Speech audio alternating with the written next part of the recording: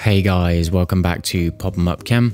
In this video, we're going to be looking at electrophilic substitution, which we can kind of think of as a combination of the other mechanisms that we've been looking at. And really, we're going to be focusing on two reactions of benzene. So, we're going to look at the substitutions of benzene and how they're different than how we might initially expect and formulate some mechanisms for these. But first, as always, question to get started on. Pause the video to have a go at that. So hopefully when looking at this one and drawing it out, you saw that it was a primary halogenoalkane. Primary, of course, not going to be able to stabilize any carbocation intermediate so we're going to have an SN2 reaction where the nucleophile, which in this case is the hydroxide ion, is going to attack the electron deficient carbon bonded to the bromine. This is going to form our intermediate anion, which is going to have the long range interactions of the OH and the Br before the Br finally leaves and gives us our product, butanol. Now, when we first look at the diagram of benzene, we may be tempted to think that it might undergo electrophilic addition like we did with alkenes, where we get the double bond attacking the electrophile. However, we have to remember that this is a representation of benzene that doesn't necessarily fit with reality because we haven't accounted for the fact that the bond order is 1.5 and we have the delocalized electrons. The single double bond is just a way for us to understand the structure. So it doesn't actually undergo this electrophilic addition reaction that we might expect. Indeed, the double bond is going to be reactive, but it's going to reform because of the delocalization energy and the stability of benzene. What we end up instead is the double bond will be reformed and one hydrogen will be lost and the electrophile will substitute in where that lost hydrogen once was. So we'll have the double bond broken initially and we'll have an, a reactive intermediate and then the double bond will be reformed and the electrons from the bond with hydrogen will be used to then restore the delocalized system to the benzene ring with the new group attached. Let's have a look at a generic mechanism where we'll just call the electrophile, in this case an E+, so we can see an overview of the mechanism. Now it's important to remember that when we draw benzene like this, that what we really mean is that there is a hydrogen on each of these carbons. That's important to remember for when we draw the um, attack of this double bond on the given electrophile, that we will form a carbon in place that has both one of those hydrogens and also the electrophile now attached to it, leaving one of the carbons with just one hydrogen and the other with a hydrogen and an electrophile. The hydrogen without the electrophile is going to be positively charged as it's lost that double bond. You can draw the electrophile on either of the carbons. They're both equivalent, just in case you were wondering. And you can also draw this kind of broken ring if we're used to drawing the benzene ring with the full circle in the middle. However, I recommend against this because sometimes it can be less clear where the electrons have come from and are going to, but it's also perfectly valid and you may see it in other examples online. The next step is that the electrons from the hydrogen bonded to the carbon with the electrophile go down towards the positive charge and reform the double bond that was there before. As we said, making that double bond, so again completing the delocalized system of the benzene. But now we've replaced one of the hydrogens with the electrophile. And this mechanism holds true for all of these reactions. Let's do a couple of questions on that before we move on. First question, state why benzene undergoes substitution instead of addition reactions. Pause the video and have a go at that. Pop 'em up! Okay, if here you described anything about the delocalization energy or the extra stability of the structure of benzene, then you would have got the correct answer. Next question, draw the mechanism for the reaction of benzene with the C2H5 plus ion. The plus is obviously going to be on the carbon here. Pause the video to have a go at that. Pop them up! So the mechanism follows exactly the same pattern as we did before with E+, plus, except in this case our electrophile is going to be R plus C2H5. Aside from that, it's going to work in exactly the same way where the electrons from the double bond will attack this electrophile. That's going to give us the C2H5 and hydrogen on one carbon and on the other just the hydrogen with the positive charge. The electrons from the bond of that hydrogen then go down to that positive charge, forming once again our alternate single double bonds of our benzene ring while having substituted our electrophile C2H5. So while the mechanism always follows the same process, the question tends to be where are these electrophiles coming from? These reactive positive species that we need to do these reactions do not exist by themselves. You can't get bottles of C2H5+. So instead, they have to be made in situ in the actual reaction.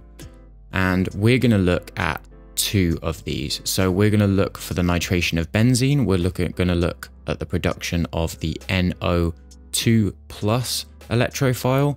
And for the acylation of benzene, we're going to look at the formation of the acylium ion, that's the COCH3 plus ion. Firstly, we're going to look at the nitration of benzene.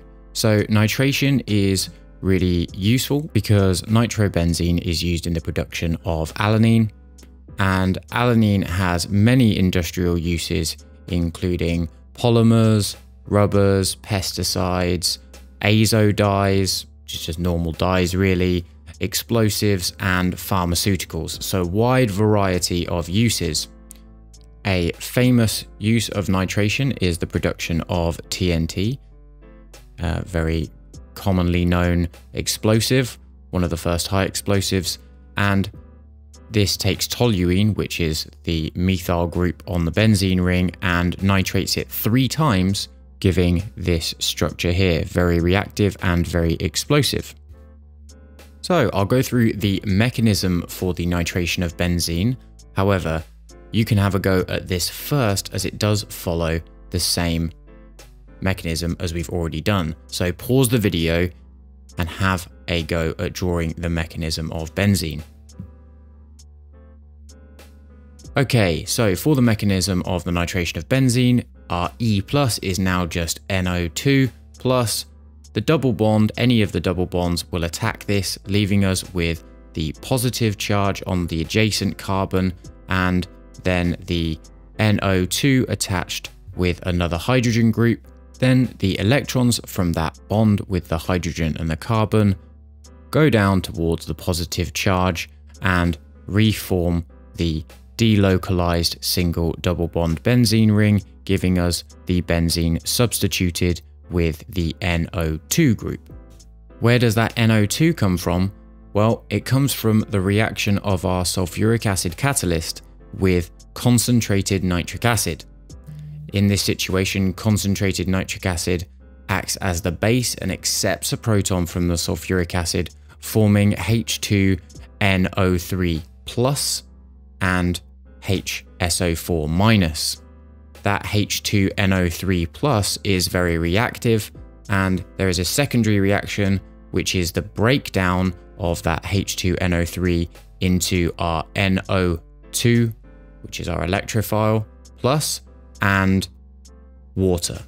If we take the overall of this reaction, then we end up with sulfuric acid plus nitric acid goes to NO2 plus HSO4 minus and water.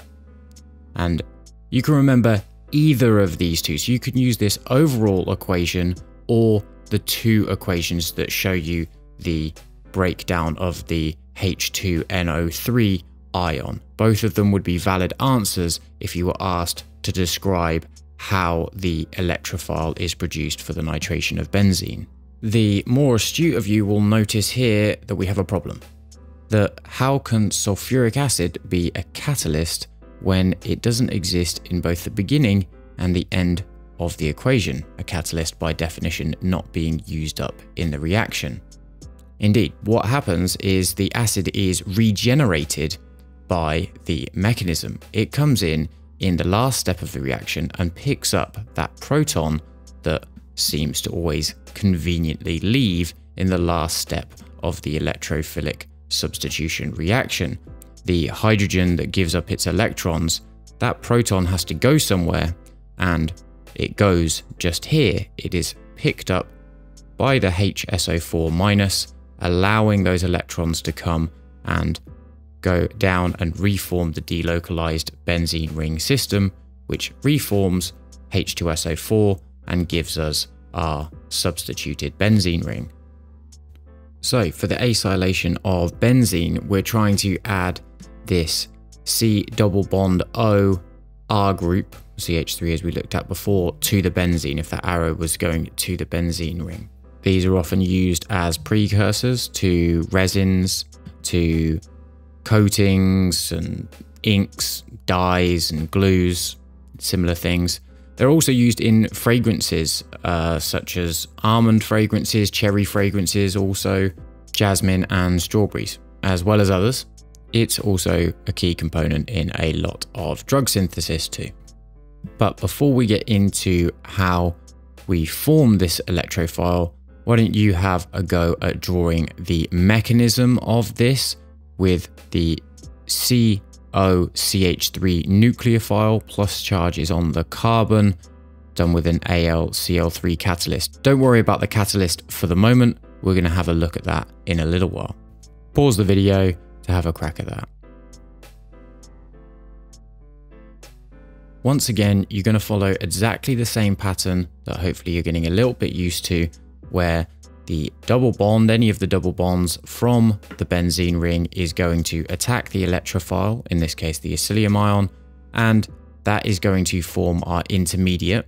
And in the intermediate, we're going to have that electrophile, the acylium ion, bonded to one of the carbons with also its hydrogen still there. And on the adjacent carbon from the benzene ring, you're going to have that positive charge. And then the electrons from the bond with the hydrogen and the carbon come down to reform the delocalized single double bond benzene ring, but now substituted with, in this case, the acylium ion that we added.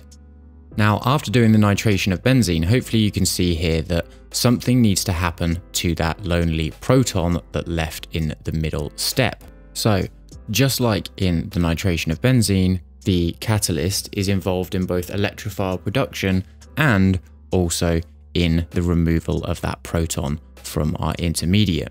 In this reaction, we're going to have an acyl chloride, which you can think of kind of like a ketone with the Cl replacing one of the R groups on the ketone.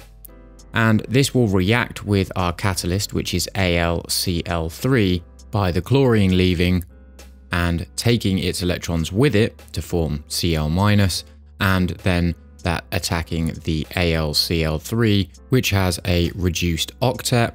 That forms our acylium ion that's going to be used as our electrophile, and it also forms the AlCl4 minus ion, and the acylium ion will be used as the electrophile, and the AlCl4 will be used as the HSO4 was in the nitration of benzene.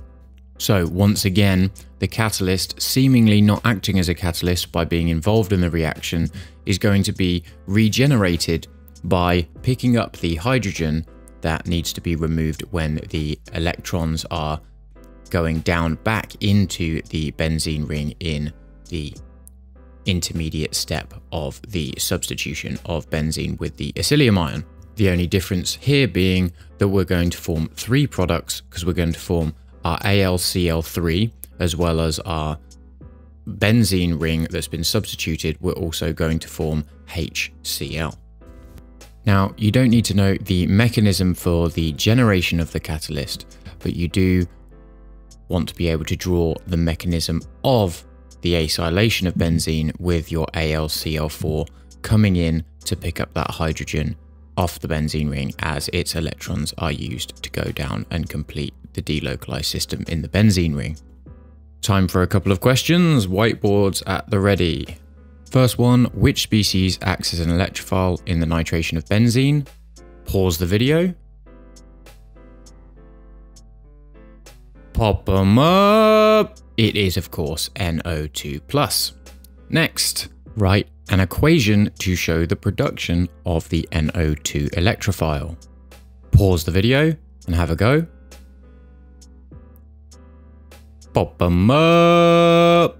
For this one, you could have given two answers. You could have given the overall reaction of sulfuric acid with nitric acid to form NO2 plus and HSO4 minus plus H2O, or you could have given it in two equations. The first one showing the reaction of sulfuric acid with HNO3 to form H2NO3 plus plus HSO4 minus, and the second equation showing the breakdown of H2NO3 going to NO2 plus and water. Last question, draw the mechanism for the acylation of benzene. Pause the video to have a go at that. Pop them up! So hopefully you're becoming a little bit bored of drawing these mechanisms for the electrophilic addition with benzene. But here we will have, once again, the attack of the double bond on the electrophile, which will form our intermediate. The intermediate then has the hydrogen that is bonded to the carbon next to the substituent group we've just added will be removed by bonding with the attacking AlCl4 minus. Its electrons will go down, complete the ring and complete the substitution which will then give us our products AlCl3 and HCl to go with it. No videos or practicals to go with this one. As always, some questions. Practicing these mechanisms is going to be the best way for you to be able to be confident in your ability to draw them out in a stressful situation like an exam. Thanks again for joining me, guys. Don't forget to like, subscribe, share the channel, and as always, practice makes slightly better.